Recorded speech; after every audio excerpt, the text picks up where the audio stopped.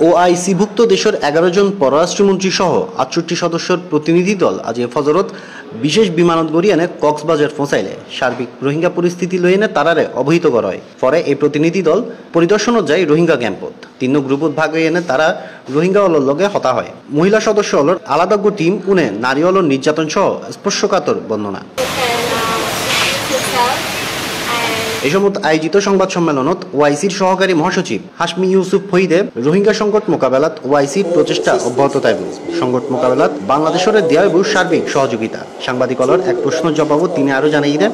আসন্ন বর্ষাত পাহাড় ধস সহ যেহন প্রাকৃতিক দুর্যোগতুন রোহিঙ্গল যাতে রক্ষা পায়, বিষয়গুলো গুরুত্ব পাইব ঢাকাত অনুষ্ঠেয় ওআইসির পররাষ্ট্রমন্ত্রী অলর সম্মেলন special thanks to Malaysia and Indonesia. এই সময় পররাষ্ট্রমন্ত্রী আবুল হাসান মাহমুদ আলী সহ উদ্বোধন কর্মকর্তা উপস্থিত আছেন।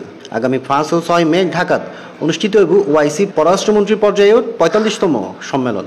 ওআইসি জোটের পররাষ্ট্রমন্ত্রী দলের এবারের বৈঠকত রোহিঙ্গা সংকট অন্যতম এজেন্ডা হিসেবে আলোচিত হইব বলে জানাই প্রতিনিধি দলের সদস্য। সম্মেলন শুরুর আগে তারা আজ এই রোহিঙ্গা ক্যাম্প পরিদর্শন করি গেল ডেক্স নিউজ, সি প্লাস টিভি।